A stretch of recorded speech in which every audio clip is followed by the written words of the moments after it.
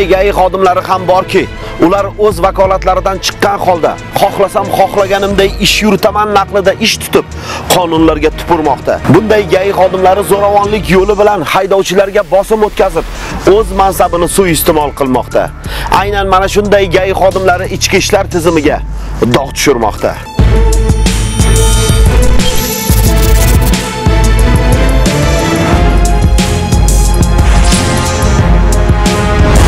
Assalomu alaykum. Siz Bahodir Brat kanalidasiz va yana men Bahodir.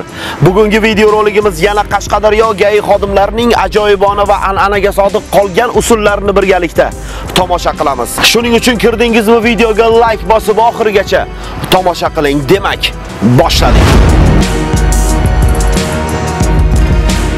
Bu holat 20-avgust kuni Qashqadaryo viloyatining Qarshi shahrida Umida choyxonasining yonida bo'ldi.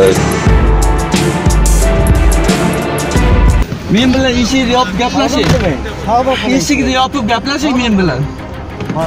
Haydovchi bilan eshikni yopib gaplashasiz. Siz dislokatsiya qog'ozi xizmat guvohnomangizni ko'rsating.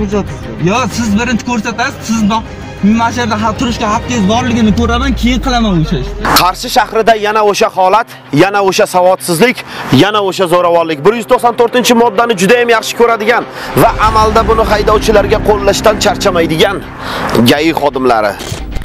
Men aytdim, o'zingiz tanishtiring aka, hujjatlar taqdim qilaman dedim. O'zingiz tanishtiring, ism, familiya, xizmat guvohnomangiz, nachok raqamingiz, dislokatsiya qog'ozingiz, kunlik dislokatsiyadan ko'chirma hammasini so'radim. Yo, yo deb turdi. Voqea 20-avgust kuni Qarshi shahrida bo'lib o'tgan. Bunda GAI xodimi haydovchini to'xtash taqiqlangan joyda, ya'ni 327 yo'l belgisi ostida to'xtab turganlikda ayblab, o'z shaxsiy mashinasi bilan oldini to'sib, so'roqqa tutadi. 327 yil belgisiga amal qilmay turibdi. 327 yo'l belgi aka peshobodgacha ta'sir qiladi. To'xtash mumkin bo'lmagan joyga turibdi. 327 yo'l belgi peshobodgacha ta'sir qiladi. Vaholanki haydovchi qoida buzmagan edi. U to'xtash taqiqlangan joyda turmagan edi. 327 yo'l belgisi.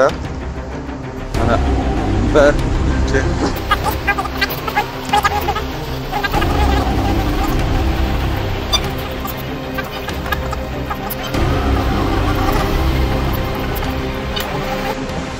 bitta ko'cha. Вот. Ko'cha. Yeyishga yana ozroq yuramiz.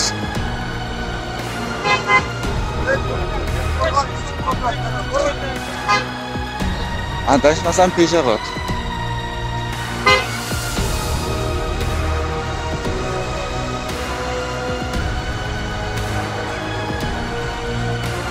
Assalomu alaykum. Peshobodni undan keyin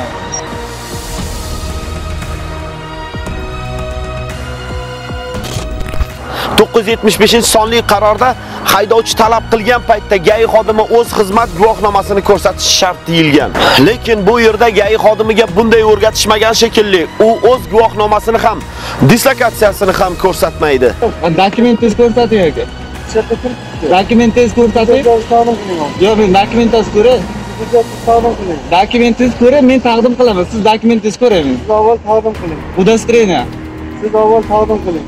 Na xizmat guvohnomasi bor bu GAIni, na dislokatsiyasi bor. Xullas, hech vaqosi yo'q GAI xodimi aybsiz haydovchini to'xtash taqiqlangan joyda turibsan deb qoidabuzarlikda ayblaydi. O'rtada tortishuv avjiga chiqadi. Oxiri bunga chiday olmagan GAI xodimi zo'ravonlik yo'li bilan haydovchini telefonini tortib oladi. Dokumentingizni ko'raymi? Siz avval taqdim qiling. Удостоверение. Siz avval taqdim qiling. noqonuniy ishlayotgan GAI Jayi xodimining haydovchini telefonni tortib olishga umuman haqqi yo'q. Unga bunaqangi vakolatni kim berdi? Kim bunga bunday huquq berdi? Nega bu ridovoy xodim haydovchiga zo'ravonlik qilyapti? Nima? Bunga uni boshlig'i talab qilgan haydovchini mana shunday qilib dodini berasan deb o'rgatishganmi? Kim o'zi bu? Vallomatmi? Shunday guvoh bor. Kimga masalada gaplashay aka? u narsani gapirmang komandir u narsani ko'p ko'rganman Bu mojaroni ko'rib, yo'ldan o'tib ketayotgan bir piyoda shaxs o'zining telefoniga syomka qila boshlaydi. Lekin buni ko'rgan GAI xodimi piyodani yoniga borib, "Meni ruxsatimsiz ijtimoiy tarmoqlarga chiqarmaysan" deydi. Men ruxsatimsiz men syomka qilish Sizga ruxsat gapirishga ijtimoiy tarmoqlarga chiqarish uchun men bir yigitga telefon qilayotgan paytim bir birovni telefonini oldimda yo'ldan o'tayotgan odamni. Telefonni olib bir yigitga telefon qildim. Telefon qilayotgan paytimda uni telefonidan ham bir videoga olayotgandim telefonni bir urib yubordi telefon uchib ketib yerga ekrani bilan tushdi. Ekran sinib ketdi telefon. Bu nima endi? Bu savodsiz gayi o'zining noqonuniy qilgan harakatidan qo'rqyaptimi? Yoki bu qilmishini oldini olib qo'yishmikan bu? Xullas, dislokatsiyani orqasidan boshqa bir xodim olib keladi. Ha, endi qog'oz ko'tarib keldi. nima uchun Dislokatsiyasini ko'rsatmagan. Xuddi esingizda bo'lsa, Maqsud Muzaffarovning bir videosida dislokatsiyani orqasidan olib kelgan edi. Shu videoni hammangiz ko'rib o'tgansiz. Dislokatsiyadan tashqarida tuzilgan ma'muriy bayonnomalar yuridik kuchga ega bo'lmaydi va huquqiy oqibatlar keltirib chiqarmaydi deb qarorlarimizda zarxal harflar bilan yozib qo'yilgan va tartibga solingan. Endi sizlarga savol beraman. O'z ishiga mas'uliyatsizlik va befarqlik bilan xizmat o'tayotgan bu xodimga yo'l harakati xavfsizligi muhimmikan yoki protokol to'ldirish muhimmikan? Marhamat fikringizni kommentariyada yozib qoldiring. ana xizmat qilishga bugungi haqqingiz bormi yo'qmi siz oldindan qayerdan bilasiz shu yerga turishingiz mumkinligini to'g'rimi meni to'g'ri tushundingizmi hozir kelasiz qarang u qog'ozni olmagansiz Qaysi qog'oz? o'sha boyagi O'sha qog'oz farqot aka bitta bitta gapiraylik iltimos meni so'rashimdan maqsadda aytay men sizga. Tushundingizmi?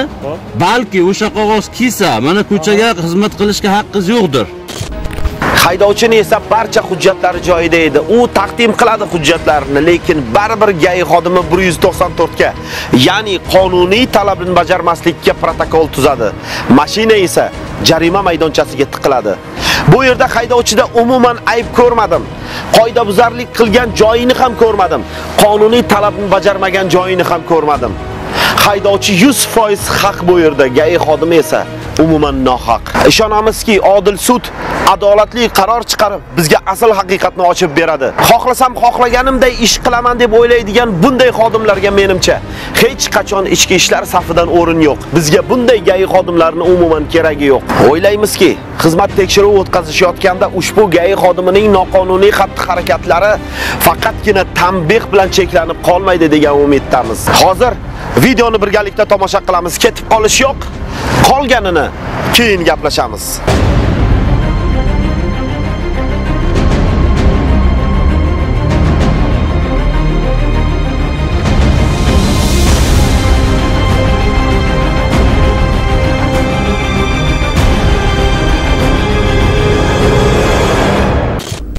Bu holat 20 avgust kuni Qashqadaryo viloyatining Qarshi shahrida Umida choyxonasining yonida bo'ldi. Peshoboddan o'tib, to'xtab turgan joyimda gay xodimi o'zini avtomashinasida keldida e, hujjatlaringiz dedi.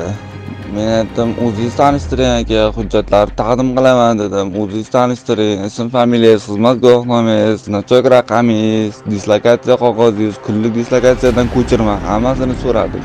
Yo'q, yo'q deb turdi. Shuncha aytishimga qaramay faqat hujjatni bering hujjatni bering faqat shu gapga yopishib qoldida. Keyin noqonuniy ishlayotgan gaylarimiz videoga endi olmoqchi bo'lgan paytimda telefon qo'limni bitta qayerda telefonimni olib qo'ydi. Telefonimni qaytarib berma shuncha ber dedim ber ber bering bering. Shuncha aytdim yo'q deyishdi. Keyin yo'l chetidagi hamma odamlar hamma telefonni qo'yishdi syomkani yoqishdi. O'sha hamma tushundi что он не прав keyin u naryad chaqirishni boshladi komandirini chaqirdi evakuator chaqirdi. Ungacha men bir yuz ikkiga telefon qilayotgan paytim bir birovni telefonini oldimda yo'ldan o'tayotgan odamni telefonini olib bir yuz ikkiga telefon qildim. Telefon qilayotgan paytimda uni telefonidan ham bir videoga olayotgandim telefonni bir urib yubordi. Telefon uchib ketib yerga ekrani bilan tushdi. Ekran sinib ketdi telefon. U kishi keyin nima bo'ladi endi dedi telefon. Telefon sud bo'ladi aka suddan keyin telefoningizni hal qilib beraman dedim. Bir yuz ikkiga telefon qildim. Bir yuz ikki o'n martalab telefon qilganimda ko'tarmadi. Oxiri ko'tardi. Naryad chaqirishni so'radim ulardan. Keyin keldi ular ham. Aka zo'ravonlik qilib mana bular telefonimni olib qo'ydi telefonimni qaytartirib beringlar dedim. Ular ham yo'q. Hech kim forma formaga teginmayapti. Xullas o'zbekistonda qonunni o'ldirishyapti ular. Ular bizani majburlab ikkinchi sonli ichki ishlar bo'limiga olib borishdi. Pps moshinaga majburlab tiqib o'zlari olib ketishdi. Borsa u yoqda ikki kishi dispetcherlik bo'limida o'tirganlar bor ekan. Ular bizlarga угрожать qildi. San videoga olyapsanmi gaylani Nima qilyapsan? Qilyapsanmi? Qilyapsanmi? Ha videoga oldim dedim. Nima uchun olasan dedi. Nima haqqing bor dedi. Sen kimsan san dedi. Shunday degandan keyin men oddiy haydovchiman, shofyorman dedi. Men bilan men bilan bo'ladigan jarayonni videoga yozib olishga haqqim bor. Vazirlar Mahkamasining 970 sonli qarori bor deyishimga qaramasdan ular ugrajat qilib, hozir ikkalangga ham bitta bildirga yozib beraman. 15 sutkani ikkalang o'tirib chiqasan, ko'rasan, undan keyin ko'zing qanday ochilishini videoga kim oladi, kim olmaydi, o'shanda ko'rasizlar hamma ikkalang ham u bu deyishdi. Soat 1:30gacha kutib o'tirdik. Keyin o'sha ikkinchi sonli ichki ishlar bo'limining uchastkavoyi keldi. Uchastkovoyga tushuntirish xatini yozib berdik. Bo'lgan voqeani aytib berdik, nima bo'lganini so'radi, aytib berdik. Keyin tushuntirish xatini yozasizlarmi dedi, yozamiz dedi. Ishni sudga oshiraman men dedim. Keyin ikkalamiz ham bo'lgan narsalarni to'g'rima to'g'ri qilib yozib berdik. U aka ishni sudga oshiraman, video materiallarni menga taxlab olib kelib berasan dedi. Xo'p dedim, ertalab o'sha kuni kechgacha men videolarni bittalab yig'ib chiqdimdan kechqurun o'sha diskka yozdim. Ertalab olib borib uchastkovoyga topshirdim. Bo'lgan voqealar shu mana shular. Nachalnik gaisi o'rtada keldi, nachalnik gai qarayapti. Men hujjat taqdim qilmayapsan dedi. Hujjat taqdim qilaman, bu ism familiyasini o'zini tanishtirsin, xizmat guvohnomasini ko'rsatsin dislokatsiya qog'ozini ko'rsatsin dedim. Videoda kelgan joyi bor o'sha nachalnik gaisini. O'sha joyda so'raganman.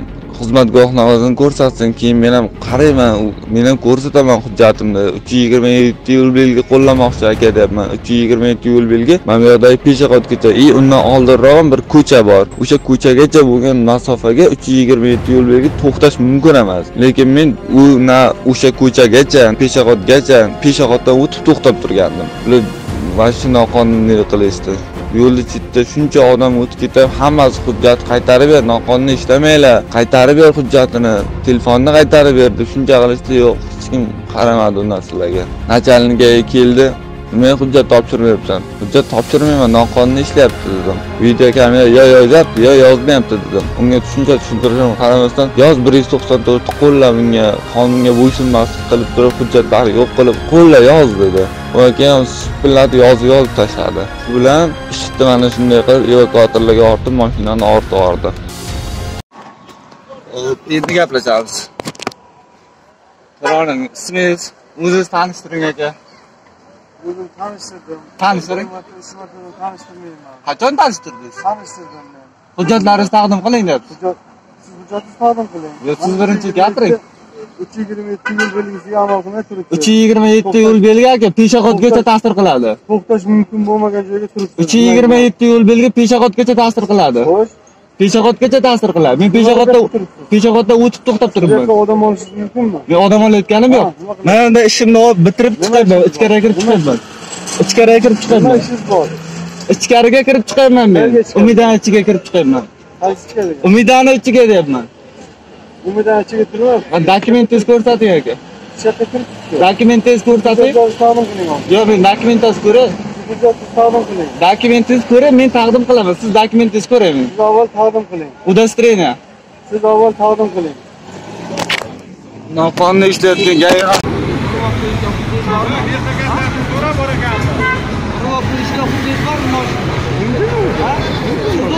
Telefonni olib qo'ydingizmi? Telefonni olib qo'ydingizmi? Telefon qo'lingiz chiqib telefon olib qo'ydingizmi? Ma'lumotlar telefonni oldingizmi? Qaytarib bering. Shuncha guvoh bor, shuncha guvoh bor. Kim edi masalan haqida gaplashay aka? u narsani gapirmang komandir u narsani ko'p ko'rganmiz Gapimni eshiting. Men ruxsatimsiz men syomka qilish Mayli, sizga ruxsat lekin ijtimoiy tarmoqlarga chiqarish uchun ijtimoiy tarmoqqa chiqarmang kerakli joyga Ha, boraman mayli, uni uchun qilaver. ha bo'ldi Ism familiyangizni ayting kameraga, ism familiyangizni. o'zingiz tanishtirmadingiz komandir Sizga nima uchun tanishtiraman? shopirga tanishtirmadingiz siz menga Siz kimsiz? menga murojaat Nima uchun qilyapsizmi Siz kimsiz? siz menga gapiryapsizmi Siz o'zingiz tanishtirib gapiring fuqarosiz. Sizga nima uchun o'zingiz tanishtiraman? tanishtirib gapiring Sizga to'xtatganim Bo'lmasa gapirmang menga. Bo'lmasa aralashmang bu yoqqa. Meni to'xtatyapsiz, meni to'xtatyapsiz. Ayting. nima qilasan mana bunday qilib явно qilib olgan bo'ldi meni to'xtatyapsiz. Siz ism familiyangizni ayting. Yashinab oling, yashinab oling. Hozir yerdan telefonni urib, olib yordida sindirib, mana ahvolni qarang mana. Singan chiziqlarigacha bor. yangiligi yoni ko'rinib turibdi yangi telefon mana ekran singanligi ko'rinib turibdi Ya, otib olgan, pastga tushgan telefon shumi? shu shu 0116 ekan значогi.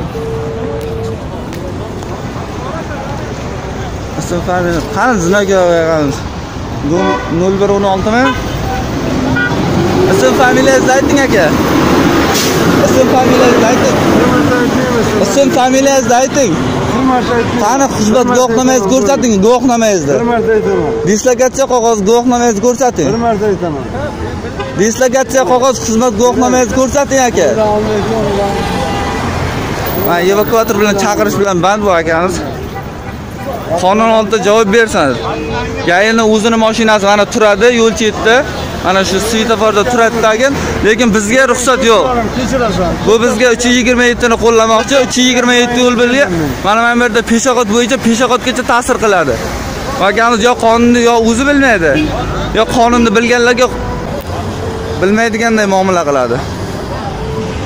Mana javob berasiz aka mana shuncha odam mana shuncha odam mayli xizmat guvohnomangizni dislokatsiya taqdim qiling aka menga bo'lsam men javob beraman Hop, ko'rsating. Majbursiz menga. Hujjatlar ko'rsatishga majbur. qilmayapti Aka, men mana sizni oldingizda 15 minutdan beri kamerada o'tiribman. men ham kameram Ya'ni 15 minutdan beri kamerada o'tiribman. Siz meni ortiqcha to'xtatib turishga haqqingiz yo'q. siz taqdim qilmasangiz meni nima uchun Ortiqcha meni haqqingiz yo'q. Ko'pa joyga borib turishga men haqman. Birinchi taqdim qiling taqdim qilmasangiz Eshikni yopib gaplashing. taqdim qiling Eshikni yopib gaplashing. taqdim qiling Men bilan eshikni yopib gaplashing. taqdim qiling Eshikni yopib gaplashing men bilan. Haydovchi bilan eshikni yopib gaplashasiz. taqdim qiling Siz dislokatsiya qog'ozi xizmat guvohnomangizni ko'rsating. hujjatingizni Yo, siz birinchi ko'rsatasiz, siz mana shu yerda ha- turishga haqqingiz borligini ko'raman, keyin qilaman o'sha ishni. taqdim qiling Men hozir sizga taqdim qilmayman. Siz noqonuniy ishlatsiz. qilmang tushundingizmi aqllilik qilmang Bering, Aqllilik qilmang telefonimni qaytarib bering. Majburlab olgan telefoningizni qaytaring. Keyin hujjatini ko'rda. Qaytarib bering hujjatni aka. Telefonimni qaytarib bering, telefonimni. qanday telefon Telefonimni qaytaring. qaysi telefon O'g'irlanganlik men 102 ga telefon qilaman, 102 javob beradi. qaysi telefon Eshikni yoping. Eshikni yoping, bo'pti. Eshikni yoping, mana kalit oldim. Eshikni yoping. Eshikni yoping. 2 metr masofa saqlagan karantin qoidasi. endi sizga tushdimi 2 metr masofani saqlang aka. endi sizga tushdimi 2 metr masofani saqlang deyapman. e baqirmang 2 metr masofani saqlang. 2 metr masofani saqlab gapiring. baqirmang baqirmay gapiring Men yopib qo'yishga haqqim bor. Soching. baqirmay gapiring Qo'lingizni oling. Mayli baqirmay gapiraman. Qo'lingizni oling. baqirmay gapiring Qo'lingizni oling. baqirmay gapiring Mana aka men sizga qarshilik qilayotganim. Qo'lingizni oling. Men mashinamni oynasini ko'tarmoqchiman. oyna ko'tarilmaydi Ko'tariladi oynasi. Oling qo'lingizda aka, qo'lingizda oling. Majburlik qonun noqonuniy tartibda ishlamang. Qonuniy ishlanglar, javob beraman qonuniy oldida. Qo'lingizda oling, hech qayerda yozilmagan qo'lingizda mana bunday qilib bosib o'tirasizlar.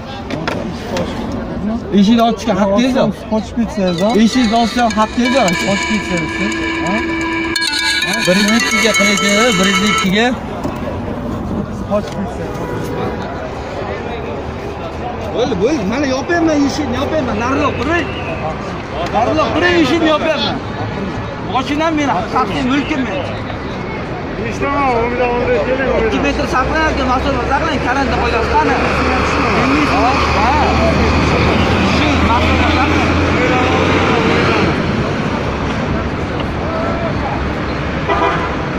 Brizlikkiga bir telmon qilyapmiz-da, kimda telmon yo'q, Brizlikkiga.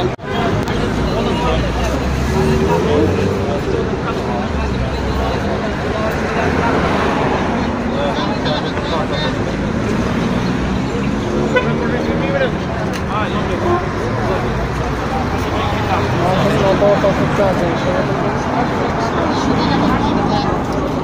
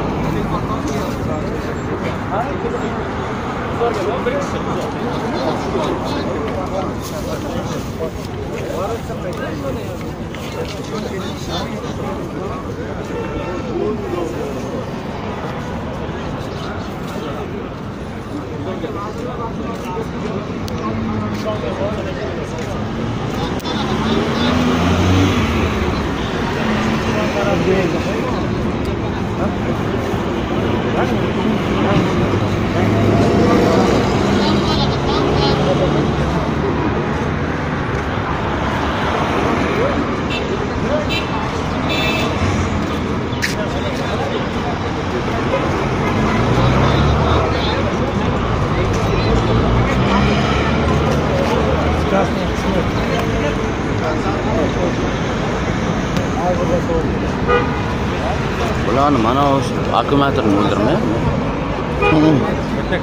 Sveta deyapti. Sveta deyapti.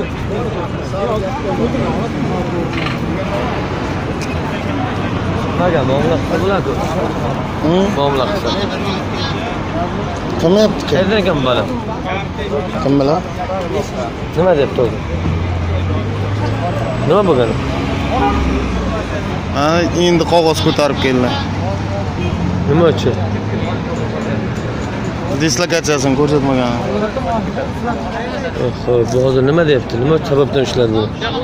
Bilmadim o'zi. Ana podznак to'xtagansan deyapti. Kim bu nima debdi?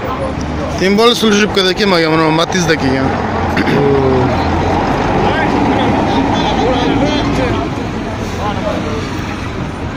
Bo'ladi.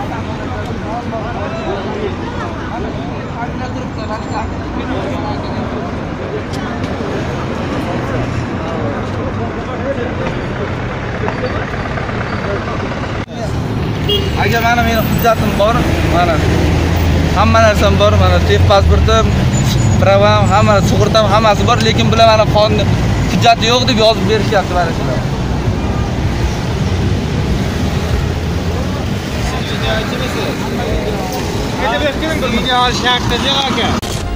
Aziz do'stlar, bizning maqsadimiz sizlarga bir gay xodimini yomon ko'rsatish yoki uni obro'sizlantirish emas. Aksincha maqsadimiz gay xodimlarning qonun va qonunosti hujjatlariga og'ishmay amal qilishlarini ko'rish.